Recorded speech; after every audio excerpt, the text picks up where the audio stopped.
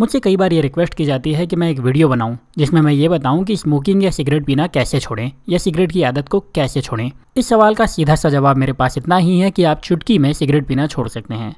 और ऐसा इसलिए कह सकता हूँ क्योंकि मैंने ये काम किया है। आज मैं आपको बताने वाला हूँ कि आप स्मोकिंग कैसे छोड़ सकते हैं। और अगर आप स्मोकिंग नहीं करते तो भी प्लीज़ आप इस वीडियो को पूरा एंड तक ज़रूर देखिएगा। क्योंकि मुझे यकीन है कि ये वीडियो आपकी लाइफ को बदल सकता है। अब हम इस बारे में और बात करें। उसके पहले बस इतनी रिक्वेस्ट है कि प्लीज़ आप मेरे चैनल को सब्सक्राइब करके बेल का आइकन दबा दीजिए, ताकि आप मेरे कोई वीडियो मिस ना करें। चलिए अब आपको वो किस्सा बताता हूँ जिसमें मैंने सिगरेट छोड़ी थी। ये शायद चौदह साल पुरानी बात है जब मैं इक्कीस साल का था, और तब मैं स्मोक किया करता था। तब मैं दिन में एक पैकेट सिगरेट आराम से पी जाता था। और उस वक्त मेरा एक बहुत ही सीधा सा रूल था कि सिगरेट पीने के लिए भिखारी नहीं बनूँगा, किसी से माचिस नहीं मांगूँगा। मतलब कि जेब में लाइटर होना ज़रूरी होता था। बस इस बारे में घर में किसी को पता नहीं होता था और लाइटर मोस्टली मेरे बैकपैक में होता था जिसमें कोई हाथ नहीं लगाता था।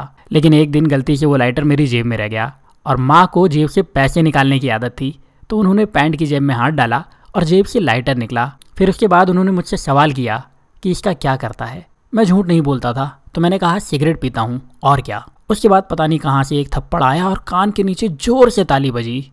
और फिर माँ ने सवाल किया, झूठ कब से बोलने लगा? उसके बाद माँ ने सवाल किया, झूठ कब से बोलने लगा? और वो मौका था जब मैंने तय कर लिया कि अब सिगरेट नहीं पीऊँगा। और उस दिन से मैंने कभी भी स्मोक नहीं किया। अब उस मोमेंट में जो हुआ था, उसको मैं आपको हिस्सों में बताता हूँ। और मुझे यकीन है कि उसके बाद आपके लिए स्मोकिंग छोड़ना बहुत आसान हो जाएगा। सबसे पहली बात, मेरी माँ ने कहा कि झूठ कब से बोलने लगा? उन्हें इस बात पर भरोसा हो ही नहीं रहा था। कि मैं स्मोकिंग भी कर सकता हूँ। उनकी मुझसे उम्मीद थी कि मैं कोई गलत काम कर ही नहीं सकता, और वो उम्मीद, वो भरोसा मेरे लिए बहुत बड़ा कारण था स्मोकिंग को तुरंत ना करने का। और उसके बाद मैंने उसी वक्त, उसी पल में ये फैसला कर लिया था कि अब से स्मोक बिल्कुल नहीं करूँगा सिगरेट को टच भी नहीं करूँगा, और तब से लेकर आज तक मैंने सिगरेट को अपने हाथों में लिया भी नहीं है, छुआ भी नहीं है।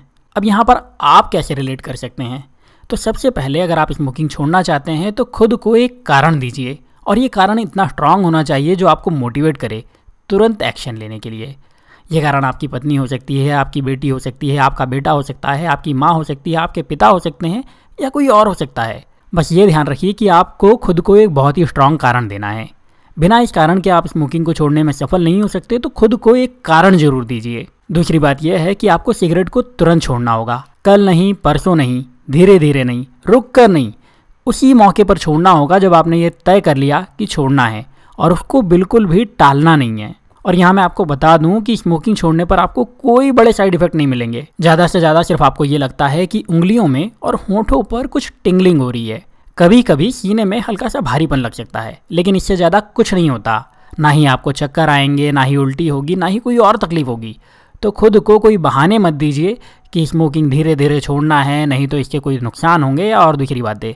आप इसको अभी छोड़ दीजिए और पूरी तरह से छोड़ दीजिए। अब इसके बाद बारी आती है कि तलब लगेगी तो क्या करें? तो असल में आपको स्मोकिंग की नहीं, उस आराम की, उस रिलैक्सिंग फीलिंग की तलब लगती है, जो आप सिगरेट पीते हुए महसूस करते हैं। आप सिगरेट पीते हुए एक लंबी सांस लेते हैं।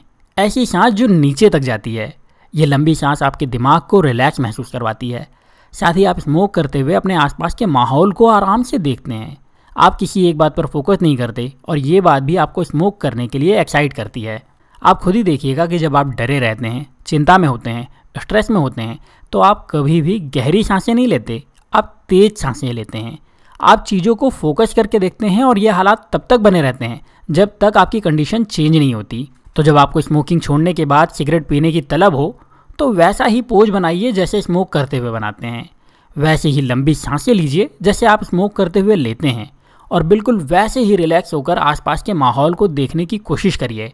और मैं आपको यकीन दिलाता हूँ कि आपकी तलब कम हो जाएगी और इसके बाद जो बाकी बचा काम है, वो आपकी विल पावर कर लेगी। मैं आपको यकीन दिलाता हूँ दोस्तों कि अगर आपने ये तीन बातें समझ ली तो आपकी स्मोकिंग पूरी तरह से छूट जाएगी। और अगर आप स्मोक नहीं करते हैं, लेकिन फिर भी मेरे कहने पर यहाँ तक रुके हुए हैं तो पहले तो आपका बहुत बहुत शुक्रिया मुझ पर भरोसा करने के लिए।